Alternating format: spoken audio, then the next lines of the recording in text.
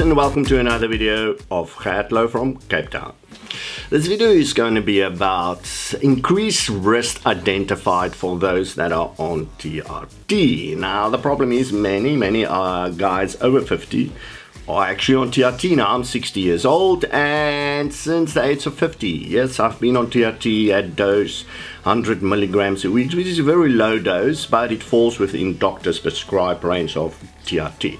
Now, obviously, everybody knows, I hope everybody knows that low TRT is uh, crazy medical risk for older guys. It uh, obviously takes away all your ability to function normally on the sexual level. It uh, lets you feel drained of energy the whole time. You feel lethargic. Uh, you've got massive depressive states as a result because you don't have TRT. TRT is uh, testosterone is the hormone that lets you feel good as a male.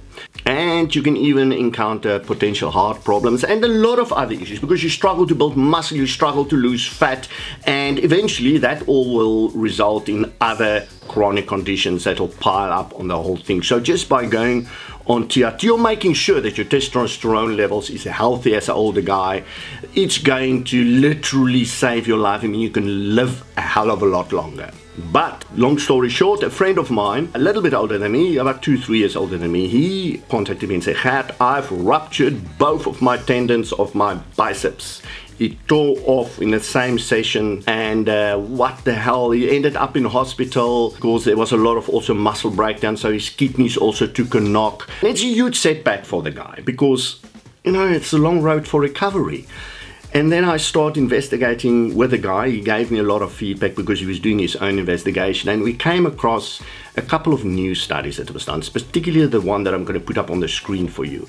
That is when TRT potentially can result in an increased risk of especially bicep tendon rupture.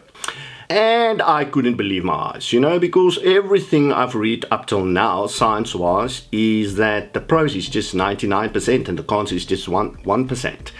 But we have to face the facts. So I dig a bit deeper into this particular article. The studies in this article, a science study, was done on 767,000 men. So there was a big study done. They were all between the ages 35 to 75. Now what the science study found, that when TRT was prescribed, and now we're talking about 100 milligrams per week, standardized TRT treatment, it caused a bicep injury tendon tear. We call it BTI. That rose by more than 400% for the people that were using TRT versus the control group. So the amount of people that had the bicep tendon tear was without TRT 159 and it rose to 650 with the TRT group. 400 plus percent increase. Okay. But this needs to be looked at from the right perspective. Now you're talking that Without TRT, your risk is 1.5 in 7,769. With TRT, that 1.5 risk now raises to 6.5 in 7,769. So if you look at that, the grander scheme of things, it is infinitesimally small, your risk. The increase is so small, you can basically ignore it because your risk is not even 1%. It, that didn't rise to a 1%. It didn't rise even to a 0.1%. It rose to 0.08%. Now, now that is a crazy small risk. So guys, looking at this from a larger perspective, I'm sorry, the risk is so infinitesimally small that uh, I still say absolutely the benefits of TRT by far outweighs the negatives. And I'm definitely not going to take the risk of having low TRT and have severe depressive states, losing my muscle, putting on fat, feeling lethargic, struggling to have sex. And I'm definitely not going to go that route than just to be safer with this 0.08%. So my honest opinion as a TRT specialist, not worth the consideration. What is much more likely to happen is when you push the older body to the point of failure too regularly, then the body will break. And this is a typical kind of injury, a tendon rupture that will happen.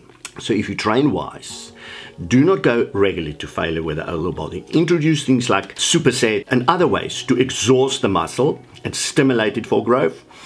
That is the way to go.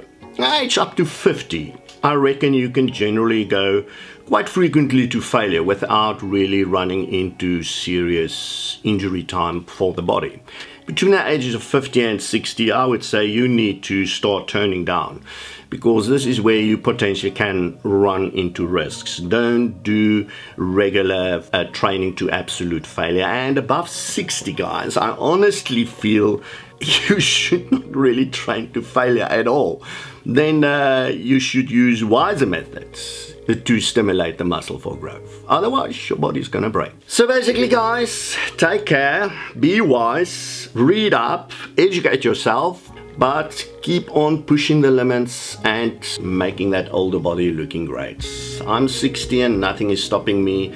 I've been a coach for 20 years and if any of, of you want to join my coaching, I'll put up the link on the screen. Just gonna have a look there what I offer. I had two years in a row now international awards for my innovation as a coach for the older body. So uh, yes, let's make it happen together. Cheers everybody. Gert Louw from Cape Town signing off.